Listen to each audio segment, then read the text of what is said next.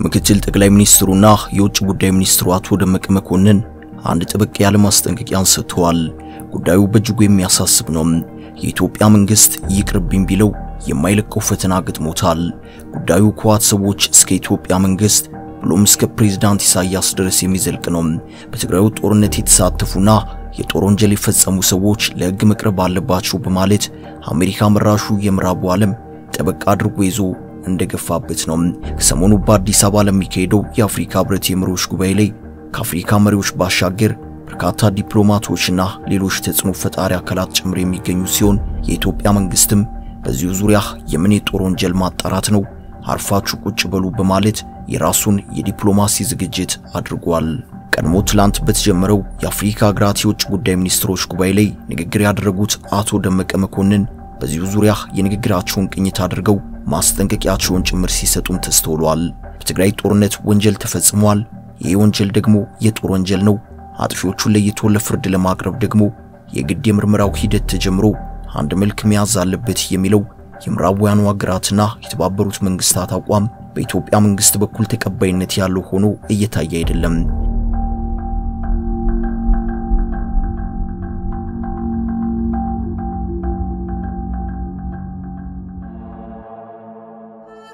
ከሰሞኑ ታላቅ ምልልስ ያደረጉትና በትግራዩ ጦርነት ተሳትፎ አላቸው የተባሉ ክስ የሚሰማባቸው ፕሬዝዳንት ኢሳያስ ይህንኑ የትግራዩ ጦርነት የጦር ወንጀል ይጣራና አጥፊዎች ለፍርድ ይቅረቡ የሚለውን በተመለከተ የምዕራባውያኑ የፖለቲካ ጨዋታ በማለት አጣጥለውታል። የተባበሩት መንግስታት ድርጅት የሰብአዊ መብቶች ካውንስል የተባሉ አካል የራሱን መርማሪ ቡድን በማቋቋም የጦርነቱ ማዕከል ወደ ነበረው ትግራይ ክልል ልኮ ምርመራውን ተፈጸመ በተባለው ወንጀል ዙሪያ የራሱን ምርመራ ለማካሄድ እንቅስቃሴ ከጀመረ ዋላ ድር ብሏል።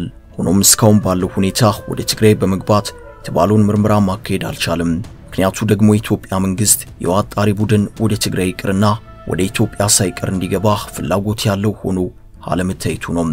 አሜሪካ መራሹ የምዕራቡ ዓለም አሁንም ድረስ የው ገለልተኛ የተባሉ አካል ትግራይ ገብቶ በጦርነቱ ሂደት ተፈጠረ የተባለውን ወንጀል እንዲያጣራና በወንጀል ተጠያቂ ናቸው የተባሉትንም ሰዎችም እንዲለይ ግፊቱን ቀጥሏል። በአንጻሩ የኢትዮጵያና የኤርትራ መንግስታት ደግሞ ይህንን ግፊትና የምዕራባውያኑን አቋም በጥብቅ እየተቃወሙት ይገኛሉ። የተባበሩት መንግስታት ድርጅት ሰብአዊ መብቶች ካውንስል የተቋቋመው የመርማሪዎች ቡድን በትግራይ ጦርነት ወቅት የተፈጸሙትን በደሎች ለመመርመር የሚያደርጉት ጥረት ባለፈው ዓመት የተፈረመውን የሰላም ስምምነት ሂደት አደጋ ውስጥ የሚከት ነው በማለት የኢትዮጵያ መንግስት ተቃውሞውን እየገለጸ ይገኛል። የተባበሩት መንግስታት ድርጅት ሙሉ ድጋፍ ያለው ዓለም አቀፍ የሰብአዊ መብት expert ኦች ኮሚሽን የተባለው አካል ከዚህ ቀደም አዲስ አበባ ድረስ በመምጣት ከትግራዩ ጦርነት ጋር በተያዘ ሰበሰብኩት ባለው መረጃ በሁሉም ተፋላሚ ወገኖች የጦር ወንጀልና በሰብአዊነት ላይ የተፈጸሙ ወንጀሎች መፈጸማቸውን የሚያመለክቱ ማስረጃዎች አግኝቻለሁ ሲል መግለጹም የሚታወስ ነው። ይህንን ቅድመ ምርመራ በማካሄድ የቅምሻ ሪፖርቱን ያወጣው ትግራይ በመሄድ ሳይሆን አዲስ አበባ ላይ ሆኖ ነበረም። አሁን ደግሞ የው የተመድ መርማሪ ኮሚሽን እያለ ያለው ትግራይ ልግባና በቦታው ተገኝቼ ምርመራዬን በማካሄድ የመጨረሻ የምርመራ ውጤቱን ላሳውቅ ነው። የኢትዮጵያ መንግስት በአንጻሩ ሪፖርቱን ውድቅ በማድረግ ኮሚሽኑ ስራውን እንዳይቀጥል ለማድረግ የቻለውን ሁሉ እያደረገ ይገኛል። ዲፕሎማሲያዊ ጥረቱም ቀጥሏል። በዚህ ጉዳይ ሰፊውን ኃላፊነትን ወስደው በስፋት በዲፕሎማሲ ውትወታ ላይ የሚገኙት ምክትል ጠቅላይ ሚኒስትርና የውጭ ጉዳይ ሚኒስትሩ አቶ ደመቀ መኮንን ናቸው። አቶ ደመቀ በዚህ ጉዳይ በትግራይ ተፈጸመ በሚባለው የጦር ወንጀል ጉዳይ በተባበሩት መንግስታት የሰብአዊ መብቶች ኮሚሽን ውክልና አለኝ በማለት ትግራይ ገብቼ ላጣራ የሚለውን የባለሙያዎች ቡድን በተመለከተ እንቅስቃሴው ማቆም አለበት በማለት መሞገት ከጀመሩ ዋላ ደር ብለዋል። ከሰሞኑ በአፍሪካ ህብረት የውጭ ጉዳይ ሚኒስትሮች ጉባኤ ላይ ይህንን ጉዳይ ሲያነሱ የመጀመሪያቸው አይደለም። አቶ ደመቀ መኮንን የው የጦር ወንጀልን አጣራለሁ የሚለው አካል በአፍሪካ ህብረት የሚመራውን የሰላም ሂደትና የፕሪቶሪያ የሰላም ስምምነትን በአፋጣኝ የመተግበርን እንቅስቃሴ ሊያዳክም ይችላል በማለት አደራዳሪ የነበረውን የአፍሪካ ህብረትን ጭምር ጠቅሰው በዚሁ የሰሞኑ ንግግራቸው ልብ አድርጉልኝ ሲሉ ተደምጠዋል።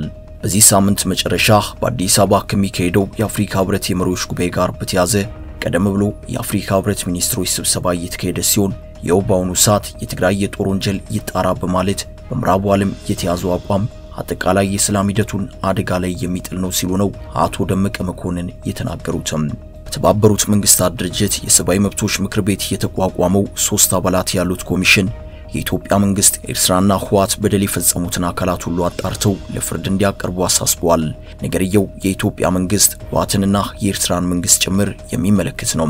የጦርነቱ ተሳታፊ ናቸው በተባሉት አካል ላይ ነው የኃላፊነት መሸከም ግዴታው የሚመጣው። ከሰሞኑ በኤርትራ ብሔራዊ ጣቢያ ብቅ ያሉት ፕሬዝዳንት ኢሳያስ ባለፈው ሳምንት በሰጡት ጋዜጣዊ መግለጫ የተባበሩት መንግስታት የሰብአዊ መብቶች ካውንስል ያቋቋመው የባለሙያዎች ቡድን በትግራይ ስለሚደረገው የጦር ወንጀል ማጣራትና የእሳቸው ጦር ድርሻ ጉዳይ ላይ ነገሩን ቀለል አድርገው ሲያጣጥሉት ነው የታየው። ህወሓትም ቢሆን ከጦርነቱ ጋር በተያዘ በትግራይ የጦር ወንጀል ተፈጽሟል ይጣራልኝ ሲል ከከረመ በኋላ ከደቡብ አፍሪካው የፕሪቶሪያው ስምምነት በኋላ ነገሩን ረገብ አድርጎ ድምፀቱን መቀነሱን መርጠዋል። በኢትዮጵያ ከሰሜኑ ጦርነት ጋር በተያዘ ተፈጸመ በተባለው ወንጀል ዙሪያ የራሱን ማጣራት አካሄዶ ሪፖርት እንዲያቀርብ በተባበሩት መንግስታት የሰብአዊ መብቶች council ሙሉ ኃላፊነት የተሰጠው ድርጅት የሰብአዊ መብቶች council የባለሙያዎች አጣሪ ቡድን በጊዜው ትግራይን ባልሄድ አዲስ አበባ ሆኜ የራሴን ማጣራት አድርጌያለሁ በማለት የኢትዮጵያ መንግስት ክፉኛ ያበሳጨን ሪፖርት ነበር ያቀረበው። በዚህም በጊዜው የው የባለሙያዎች ቡድን አደረግኩት ባለው ማጣራት መሰረት እጄ ላይ ያሉ ያላቸውን መረጃዎች አጠናክሮ ለተመድ ያቀረበበት ሁኔታም እንደነበር የሚታወስ ነው።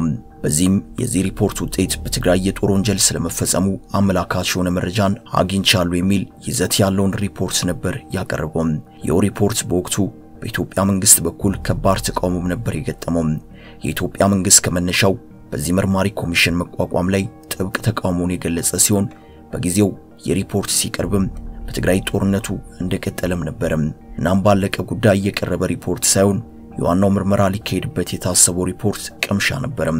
የኢትዮጵያ መንግስት ግን የቅምሻ ሪፖርትም ቢሆን ክፉኛ ነበር ያስቆጣው።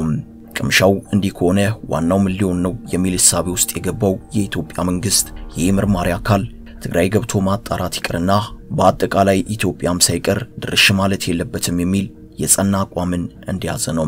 በዚሁ በትግራዩ ጦርነት ደረሰ በተባለው ጥቃት የኢትዮጵያንና የኤርትራን መንግስት በስፋት ህወሓትን ደግሞ አነስ አድርጎ የተጠያቂነት ቦታን ሰጥቷል። ይህ እንግዲህ ከወራት በፊት የቀረበው ሪፖርት ነው። ጣጣው ግን አሁንም ገና እንደቀጠለ ነው።